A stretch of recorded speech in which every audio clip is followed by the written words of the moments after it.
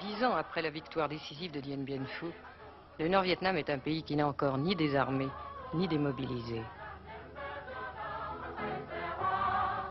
Sur l'emplacement de la célèbre cuvette, qui revêt désormais pour le peuple vietnamien un caractère sacré, des champs bien cultivés, des touristes pourraient faire illusion, évoquer le retour à la paix,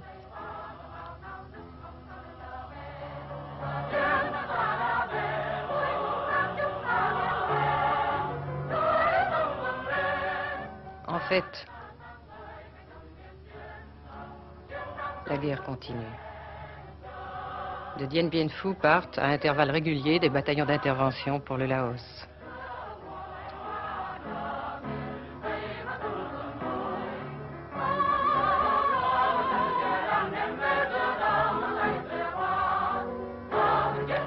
L'homme reconnu dans le monde entier comme le Napoléon de la guérilla, qui après avoir vaincu les Français passe pour diriger en coulisses la lutte contre les Américains, le général Diap nous parle de l'armée populaire.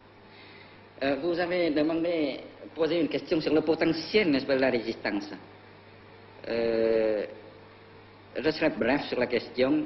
Je vous dirai des généralités, des généralités précises, ou comme vous voulez, n'est-ce pas, des précisions générales, n'est-ce pas Eh bien, euh, la République démocratique du Vietnam est à même, absolument, n'est-ce pas, d'assurer sa défense, assurer la défense, et d'écraser, n'est-ce pas, n'importe quel agresseur impérialiste.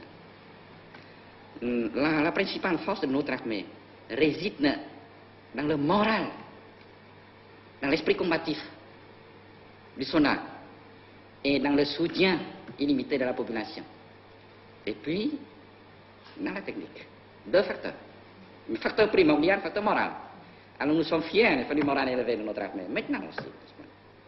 Mais certains pensent en Occident que vous, personnellement, continuez à inspirer la stratégie du Viet Cong. Est-ce que c'est vrai? Viet Cong, c'est...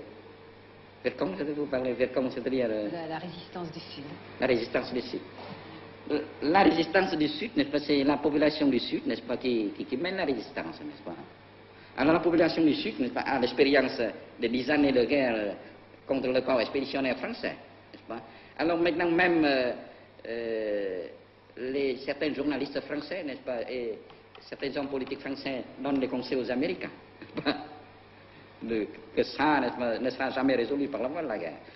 Alors vous comprenez que notre population, n'est-ce pas, était